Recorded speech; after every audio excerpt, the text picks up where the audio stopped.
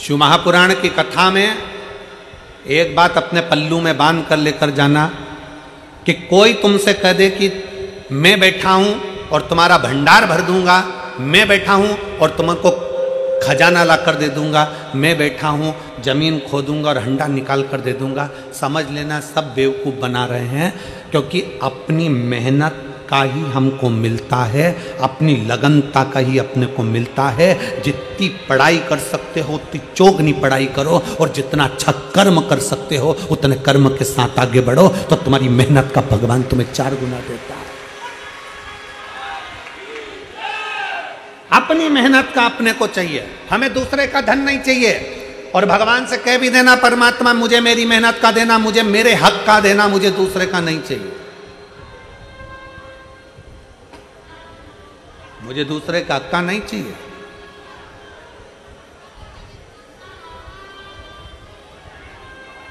कभी मौका मिले तो एक बार शिव महापुराण के पंडाल में जाकर देखना। ये पंडाल के अंदर बैठी हुई मेरी जीजियों को, मेरे जीजाओं को, मेरी बेटियों को, मेरे बेटाओं को देखिएगा। कोई बिस्कुट देने भी आया ना तो देकर चले गया तो ठीक। कोई समोसा देने भी आया तो देकर चले गया तो ठीक। उसके पीछे भागती नहीं है मेरी ये शिव पुराण की असली श्रोता, शंकर की कथा को असली असली श्रोता, जो असली सुनने वाले हैं, वो बांटने वालों के पीछे पीछे नहीं भागते, अपनी कथा में लगे रहते हैं, कोई आ गया, दे गया, खा लिया, रख लिया, वो अपनी जगह और कई लोग ऐसे भी आते हैं, वो केवल ये सोचने के लिए आते हैं कि चलो, वहाँ पर ये मिल जाएगा, बिस्कुट मिल जाएगा, पानी की बोतल मिल जाएगी, ये मिल जाएगा। असली श्रोता अपनी कथा की लगनता छोड़ता ही नहीं पड़ा है।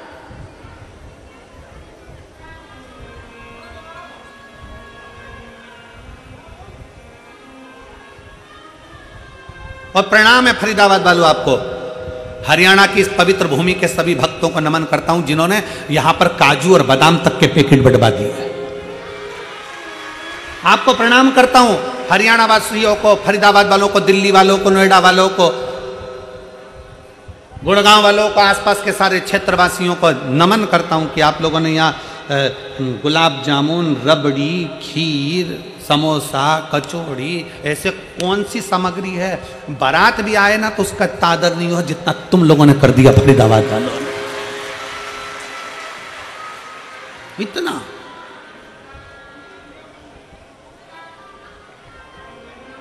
अब तुमने इतना दिया है किसी को देख कर दिया है? नहीं। तुमने केवल सुनकर दिया है कि बाबा का कोई भक्त, शंकर का कोई भक्त शिव पुराण की कथा सुनने के लिए आया है? भक्त, शिव का भक्त कोई कथा सुनने के लिए आया है? तो आपने अपने भाव से उसको दे दिया। तो वो भी तो फिर कमी रखेगा क्या? वो भी तो सोचेगा, कार्तिक का महीना इतने प्रेम से तूने इन लोगों को दिया तो मैं तुझे देने में क्यों कमी रखूँगा? मैं भी तो छप्पर फाड़ कर तुझको दूँगा। मेरे शंकर भगवान अपनी गोदी में कार्तिकेय जी को रखे हैं, मेरे शंकर भगवान अपनी गोदी में स्वयं श्री गणेश जी को रखे हैं, मेरे शंकर भगवान अपनी गोदी में अशोक सुंदरी को रखे हैं। मेरे शंकर भगवान अपने तन पर अपनी पाँच बेटियों को भी धारण कर कर रखे हैं, जया विशहरा श्यामली बारी दौतली, देव। मेरे शंकर भगवान अपने गले में वासुकी नाग को धारण कर कर रखे हैं। मेरे शंकर भगवान, जिस चंद्र को दक्ष प्रजापति ने श्राप दे दिया था, काया का रोग हो गया था, उस चंद्र को अपने मस्तक पर धारण कर कर रखे हैं। मेरे शंकर भगवान, स्वयं माता जगत जननी जगदम्बा को अपने नज़दीक में बिठा कर रखे हैं। मेरे शंकर भगवान धर्म रूपी बेल को अपने पास में रखे हैं। मेरे शंकर भगवान अपने संपूर्ण परिवार को अगर देखेंगे तो सबको जोड़कर एकजुट होकर शंकर भगवान ये दिखाते हैं कि अगर आप एकजुट होकर रहोगे तो दुनिया में किसी की सामर्थ्यता नहीं है कि तुम्हारा बाल बांका कर ले। तुम्हारी एकजुटता होना चाहिए। उसको धन्यवाद कहो। पहले के जमाने में लड़की की शादी करते थे ना तो बहुत बड़ा परिवार देखते थे। क्यों नहीं मेरी हरियाणा की जीजी हो? सही है कि गलत है? जम के तो बोलो जरा, सही है ना? पहले जब ब्याह करते थे, शादी करते थे तो बड़ा परिवार देखते थे। कितनी बुआ? तो के चार छः बुआ हैं। अच्छा? हाँ। कितने मामा? के तीन चार मामा हैं। चलो, बहुत बढ़िया। काका ससुर के पाँच, बहुत जोड़ दो। लड़के के ताऊ के तीन ताऊ हैं। बहुत बड़े।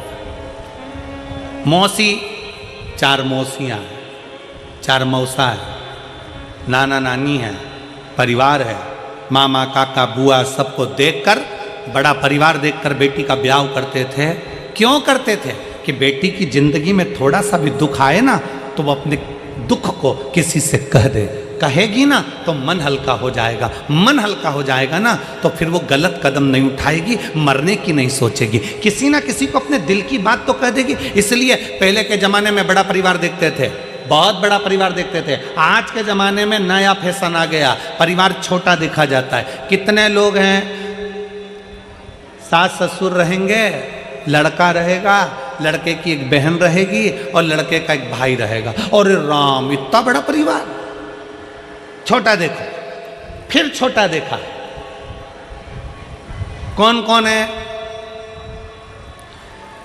सास ससुर हैं, लड़का है, और लड़के की बहन है, और कोई नहीं। अच्छा और देखो, फिर देखा तो कहे, केवल ससुर है, लड़का है, ना बहन है, ना सास है। कहा, बस यहीं पक्का कर दो, क्योंकि इतने सारे को कौन झेलेगा? विचार।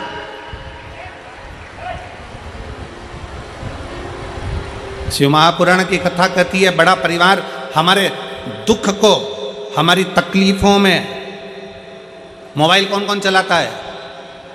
हाथ उठाओ जल्दी से। सब चलाते हो? व्हाट्सएप पे कितने ग्रुप बने तुम्हारे? जम के बोलो जरा। कितने ग्रुप से तुम जुड़ी हुई हो? दो से जुड़ी हो? चार से? छ से?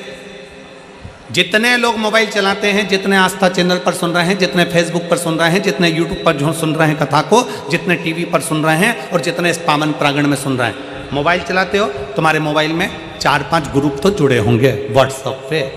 इंस्टाग्राम पे भी लोग जुड़े होंगे।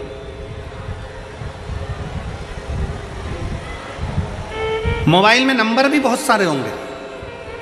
फिर भी हम छोटे से छोटे नंबर ले लें तो भी तुम्हारे मोबाइल में लगभग लगभग हज़ार नंबर तो जुड़े ही होंगे। बोलो, सही है कि गलत है? जम के बोलो जरा। इंस्टाग्राम पे भी दो पाँच सौ लोग तो जुड़े होंगे। फेसबुक पर भी लगभग लगभग दो चार सौ लोग तो जुड़े होंगे। बोलते जाओ, सही है कि गलत है? यूट्यूब पर भी तुमसे दो पाँच सौ लोग जुड़े होंगे।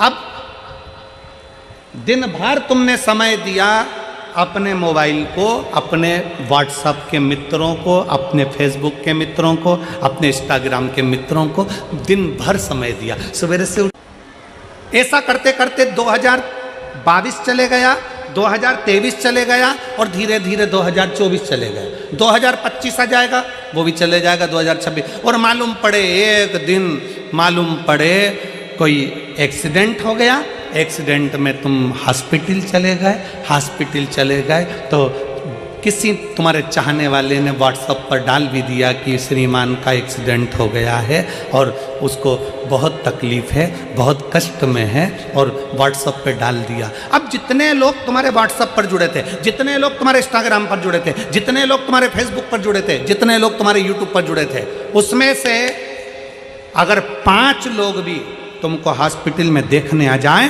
तुम्हारा दुख कम करने आ जाए तो बता देना।